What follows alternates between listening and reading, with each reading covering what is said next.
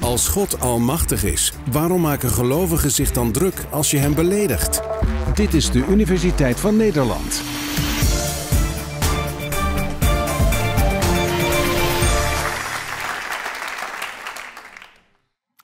Als God zich opnieuw in levende stof gevangen geeft, zal hij als ezel terugkeren. Hoogstens in staat een paar lettergrepen te formuleren, miskend en verguisd en geranseld, maar ik zal hem begrijpen. En meteen met hem naar bed gaan. Maar ik zou zwachtels om zijn hoefjes doen, dat ik niet te veel schrammen krijg bij het klaarkomen. Gerard Reven in de jaren 60. En toen daar mensen op reageerden, deed hij nog een stapje bovenop in een boek dat er achteraan verscheen, Nader tot u. Ik houd zo verschrikkelijk veel van u, zou ik proberen te zeggen. Maar halverwege zou ik al in janken uitbarsten en hem beginnen te kussen. En naar binnen trekken. En na een geweldige klauterpartij om de trap naar het slaapkamertje op te komen, zou ik hem drie keer achter elkaar langdurig in zijn geheime opening bezitten. Sommige mensen vonden dat ongepast in zijn tijd en misschien vandaag ook nog wel. Wie denkt, moet kunnen. Zijn we wat gewend geraakt langzamerhand. En wie denkt van, nou, nou, nou, ja. Ja, toch wel een beetje over de grens. Nou, dat vonden de mensen toen ook. Er waren uh, een aantal, vooral orthodox-christelijke groepen, die vonden dat Reven hiermee de wet op de smalende godslastering had overtreden. Een wet die van 1932 tot 2014 in Nederland gegolden heeft. Een wet op de smalende godslastering, dat ze zeggen op het blijkgeven van minachting ten aanzien van de godheid, maar ook ten aanzien van bijvoorbeeld voorgangers, religieuze uh, voorwerpen, uh, et cetera. Het blijkgeven van minachting. Religiekritiek mocht best, maar dit niet. En hij werd dan ook vervolgd, hij moest voor de rechter komen en is uiteindelijk is hij vrijgesproken. En in die vrijspraak speelden een paar zaken een grote rol. Onder andere dat er een aantal theologen waren die het voor hem opnamen. Die zeiden, ja, kijkt u eens meneer de rechter, dat Reven dingen zegt die niet prettig zijn, dat mag duidelijk wezen. Maar dit is tegelijkertijd, dat was ook Revens argument, dit is zijn persoonlijke geloofsbeleving. En wie is de rechter om te bepalen dat dit wel of niet mag? Bovendien zeiden ze, wat hij doet is dat hij zich aansluit bij een lange en eerbiedwaardige traditie binnen het christendom, die van de erotische mystiek. Dat wil zeggen, bij een traditie waarin alleen, alleen seksuele taal geschikt is om de verhouding tot de godheid te omschrijven. En het interessante is dat daarmee de discussie over godslastering eigenlijk een kwartslag gekanteld werd en het meer ging om een discussie over verschillende religieuze beleving. De wet op de smalende godslastering, ik zei al, werd in 1932 is die ingevoerd. En de aanleiding toen was eigenlijk een serie spotprenten en andere publicaties van communisten die zich verzetten tegen de dominantie van het christendom. Spotprent bijvoorbeeld waar ze een kruis omverhakken met een bijl. Vandaag dag zou je zeggen van, nou, kom, daar kan nog wel een schepje bovenop. Maar in die tijd werd het al gezien als een stevige aanval op het christendom. En die wet op de smalende godslastering die verbiedt dus het beschimpen, het bespotten van voorgangers, voorwerpen van religie in het algemeen. De straf was niet zo heel erg zwaar. Je kon maximaal drie maanden gevangenisstraf krijgen voor het bespotten in beeld en één maand voor het bespotten met het woord. Kennelijk zijn woorden toch minder gevaarlijk dan beelden, of zijn beelden worden beleefd als, als ernstiger. Of een boete van 150 gulden. Eigenlijk valt het best mee als je beseft dat in de Bijbel daar nog gewoon de doodstraf op stond door steniging. Dan zijn we er toch vandaag de dag wat soepeler in geworden. En voor diegenen die denken dat het helemaal is afgeschaft in Nederland, in de Caribische delen van Nederland, daar geldt de wet nog wel. Daar is het nog steeds verboden, dus mocht je op vakantie gaan naar Bonaire, kijk even uit met wat je zegt. De wet werd afgeschaft eigenlijk omdat gezegd werd, het is een dode letter. Hij functioneert totaal niet. Uh, Reven is niet veroordeeld vanwege deze argumenten. En ook daarna, er is wel eens een poging gedaan om bijvoorbeeld Theo van Gogh aan te klagen, maar dat werd niet eens ontvankelijk verklaard. Wat is eigenlijk het punt van die godslastering? Waar zit de spanning nu eigenlijk? En wat is een van de redenen om zo'n wet juist wel te willen afschaffen? In de hele discussie is dat, heeft dat een grote rol gespeeld.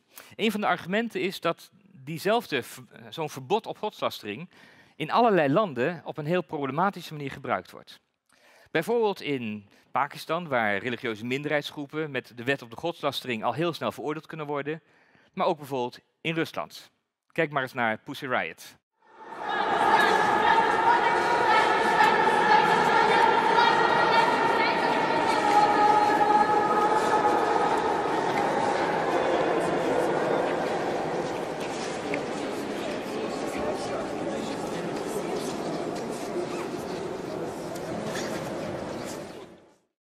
Pussy Riot, een muziekgroep die zich verzet tegen de, de macht van kerk en staat, die heel erg door elkaar loopt. En die daarvoor een punk prayer in, binnen een kerk gebruikt als, als vorm, als, als kunstvorm, hoe hoe je het ook waardeert, om dingen eh, kritisch aan de kaak te stellen.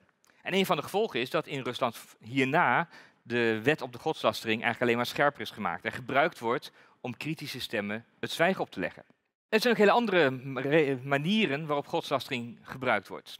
In de populaire cultuur en in de reclame is godslastering een, een aantrekkelijk middel om te provoceren, om aandacht te trekken. Denk aan Madonna bijvoorbeeld, die heel bekend werd met haar scène aan het kruis. En in die scène aan het kruis, daar, daar gebruikt ze ook teksten die rechtstreeks voortkomen uit de Bijbelse traditie. Waar ze mee speelt en waar ze zich eigenlijk uitspreekt tegen al het onrecht wat ze ziet. Is het kunst? Is het godslastering? Is het iets tussenin? Of is het commercie? En gebruikt ze deze beelden, waarvan ze weet dat ze ook een beetje prikkelend zijn, gebruikt ze die beelden precies om daarmee de aandacht te trekken. Reclamemakers weten daar sowieso al raad mee. IJsmakers bijvoorbeeld. Of kledingmerken. De doornenkroon. En als je het uitspreekt, dan staat er Jesus. Beelden die met opzet ook gebruikt worden om te prikkelen, om aandacht te vragen. En zo hebben we bijvoorbeeld de, de, de, de makers van die kleding, van, die hebben zich ook zo daar nadrukkelijk ook zelf over uitgesproken. Die hebben uitgelegd, wij doen dit zo omdat we graag een beetje willen prikkelen. Is het nou echt godslastelijk bedoeld? Nou, dat is te veel gezegd, maar ze zoeken wel de grens op van waar het voor mensen aangenaam of onaangenaam wordt. En de reactie zie je dan ook. De reactie bijvoorbeeld bij Madonna, dat er een dominee was die toen Madonna ging optreden een bommelding deed, zodat hopelijk het concert niet door zou gaan. En de Bond tegen het Vloeken, die heeft zich uitgebreid eh, uitgesproken tegen de reclames en tegen de uitingen van een kledingmerk als Jesus. Ofwel, onmiddellijk zie je de reactie dat zodra de grenzen worden opgezocht van wat religieus betamelijk is, dat onmiddellijk de reacties komen uit religieuze hoek die zeggen, nou, nu ga je te ver, dit is over de grens, zo zou het niet moeten. Daar kunnen allerlei redenen voor zijn, maar één daarvan zou heel goed kunnen zijn dat in de godslastering, in de spot, dat eigenlijk de grens wordt opgezocht van werkelijkheid en spel. De humor, die er vaak in zit, de humor wordt niet gezien of wordt gezien als, als onaangenaam.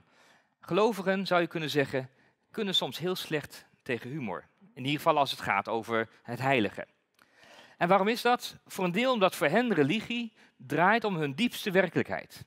Om dat wat het meest van belang is, om dat wat hen het meeste raakt. En daar maak je geen grappen mee.